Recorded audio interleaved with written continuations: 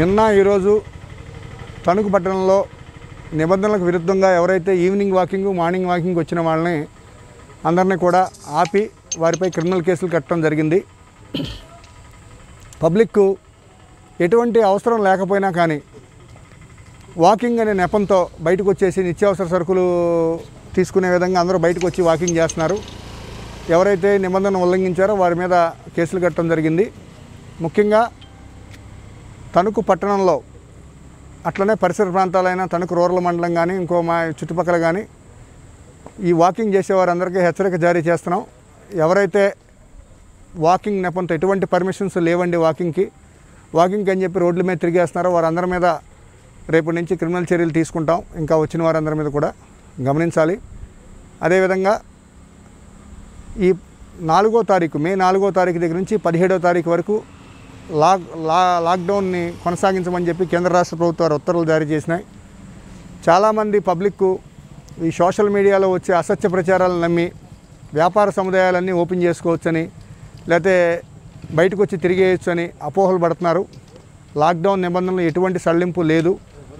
ఏవైతే అత్యవసర సేవలు కిరాణా పాలు మందులు హాస్పిటల్ ఇవేవైతే ఉన్నాయో అవే కొనసాగుతాయి. అంతే తప్ప అదర్ దాన్ ఆరెంజ్ జోన్స్లో కానీ ఇంకో దగ్గర ఎక్కడ రిలాక్సేషన్ లేదు.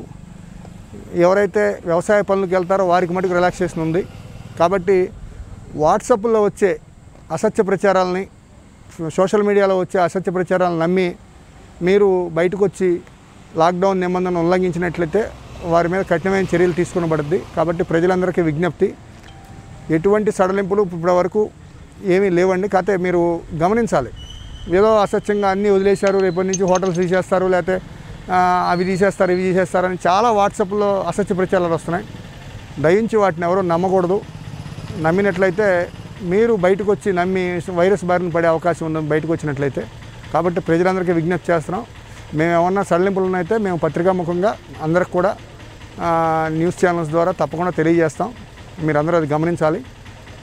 థ్యాంక్ యూ అందరూ కోఆపరేట్ చేస్తారని ఆశిస్తున్నాం. తణుకులో ఉన్న ప్రజలందరికీ మేము తెలియపరిచేది ఏమనగా రేపు చాలామంది కూడా ఒక అపోహలో ఉన్నారు. రేపు నుంచి నిబంధనలు సడలించారు అనే ఊహలో ఉన్నారు. దయచేసి అందరూ అర్థం చేసుకోండి. మే నాలుగో తారీఖు నుండి పదిహేడో తారీఖు వరకు కూడా ఈ నిబంధనలు సడలింపలేదు. గతంలో ఉన్న అన్ని లాక్డౌన్ నిబంధనలు అన్నీ అమల్లో ఉంటాయి. దయచేసి గతంలో ఉన్న టైమింగ్స్ అందరూ ఫాలో అవ్వాలా?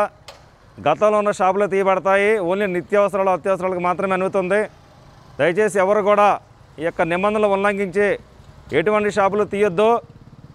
షాపులు తీస్తే వారిపైన కేసులు నమోదు చేయబడతాయి. చాలామంది సోషల్ మీడియాలో ఈ యొక్క అన్ని నిబంధనలు మారాయి అన్ని షాపులు తీయొచ్చని తప్పుడు మెసేజ్లు ఫార్వర్డ్ చేస్తున్నారు. ఆ తప్పుడు మెసేజ్లు నమ్మి మీరు ఎవరు కూడా నమ్మవద్దు. ఇప్పటి వరకు మాకు పోలీసు వారికి అందరూ సహకరించారు. ఒక సెవెంటీ ఫైవ్ పర్సెంట్ మాత్రం మనం విజయవంతం సాధించాం. మిగతా ఇరవై ఐదు శాతానికి కూడా మాకు ప్రజలందరూ సహకారం కావాలని ప్రజలందరూ కూడా కొంచెం కష్టమైనా కానీ ఓర్చుకొని ఇంట్లోనే ఉండి తమను తమను కాపాడుకుంటూ పోలీసు వారికి సహకరించాలని కోరుచున్నాం. అదేవిధంగా మాకు ఈ లాక్డౌన్కి సహకరిస్తున్న ప్రజలకు మా పోలీస్ సిబ్బందికి మీ మీడియా మిత్రులకు ఇంకా మాకు సపోర్ట్గా డ్యూటీ చేస్తున్న ఆర్టీసీ సిబ్బందికి ఫిజికల్ డైరెక్టర్లకు అదేవిధంగా వైద్య సిబ్బందికి అందరికి కూడా మా యొక్క ధన్యవాదాలు తెలుపుకుంటున్నాం. మిగతా ఇరవై శాతానికి కూడా అందరూ సహకరించాలని కోరుకుంటున్నాం.